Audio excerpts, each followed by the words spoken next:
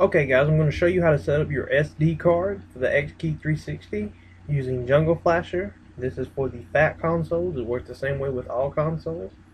So first thing you want to do is make sure you have Jungle Flasher open. Then you want to open your firmware that you got from the drive, the official firmware from the drive, which is, for this case, there's going to be the Lite-On 0251, which is the most current Lite-On firmware for drives that are connected to Xbox Live or that are most recently updated. So we're going to open that. You can click no here. Then you want to go to save drive key. Just hit save and it will automatically save it as key.bin. Let's go to that folder now. You notice we got our key.bin file there. Then we want to rename the firmware file that we got from the drive as firmware.bin. So the, we have these two uh, files here. Then we want to go to our SD card and we want to copy these over to the SD card. There they are. Now we want to go make sure we have the most recent version of XKey firmware, which at this time is 1.03. Let's go ahead and extract files here. They're extracted. We want to copy the root FS and the U image folder uh, files over to the SD card.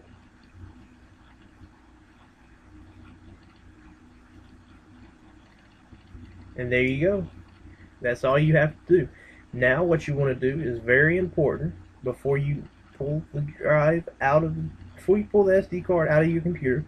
You want to go click on safely remove hard uh, hardware and then eject SD card.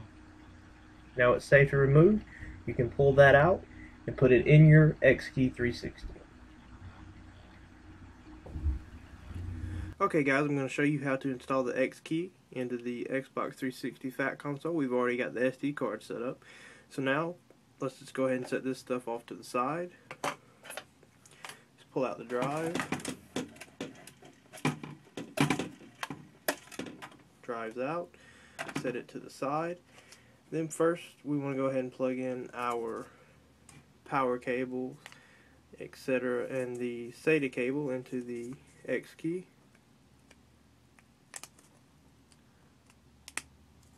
That plugged in. We'll plug this one in as well.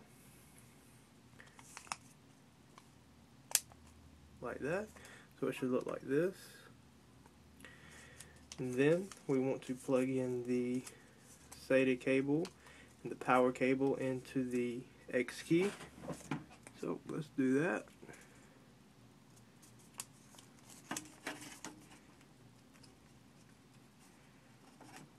Like that. That's the power cable. The SATA cable.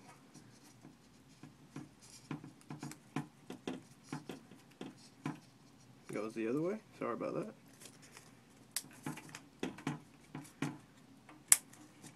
That's plugged in.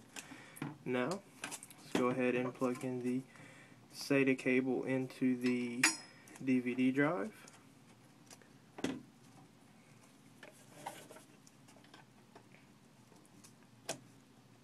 Like that. The power cable can go ahead and be plugged in.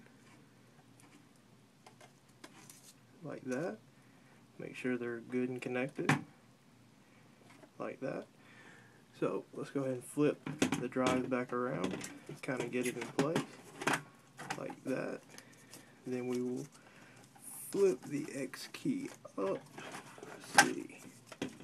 I'll put the power cable over. Hold up plug the power cable.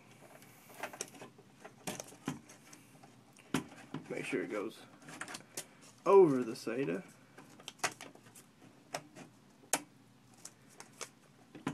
Like that. Test all our connections again. Make sure everything's plugged in good that way. So, get this in place. Then we can rotate the X key like so.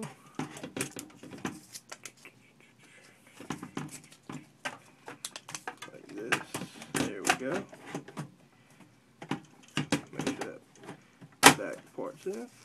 That key right here. What I do is I just slide it in right there. Push that down. Then we will plug in our wire that connects to the control box.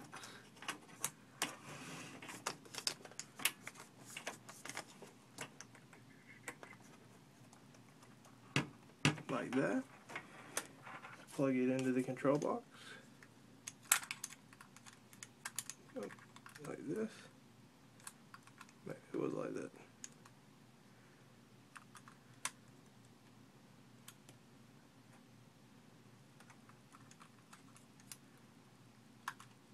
Like that. Set that down right there. We're to hook this up and I'll be right back to you once I get it hooked up.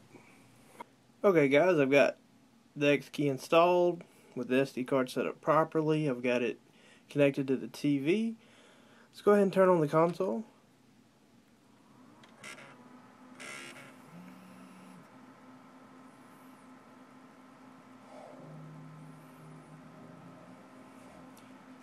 Nice limited edition Gears of War 3 here. You know. Set that right there. And bring the X key over. I know you can't see it, so I'm going to tell you what I'm doing. I'm going to select game, and I'm hitting the middle button. It says that it's got one hard drive found. I'm going to select it. Then I'm going to go to the Gears of War 3 ISO. First, I want to eject the tray. So now I want to select the ISO.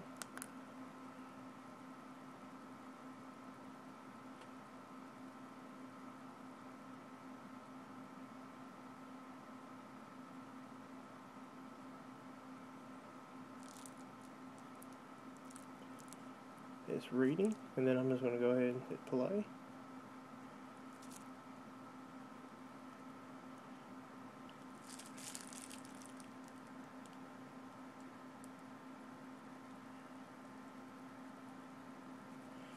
We'll remove the Gears of War 3.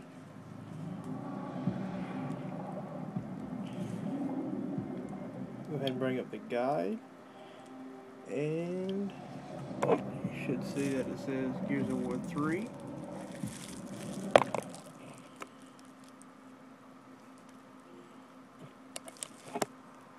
That's with the X key. There's the game.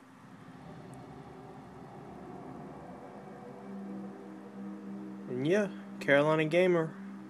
That's how to install your X-Key 360. It works great. I got mine from Mod Chips Direct. You can get yours from there as well. It's really quite easy to install. It works really good. I've not had any problems with it. I've been testing it pretty much the past couple days, you know, to make sure everything's good and, you know, I know everything about it. All the XG3 games works. XGD3 games, they all work. So yeah, Carolina Gamer out.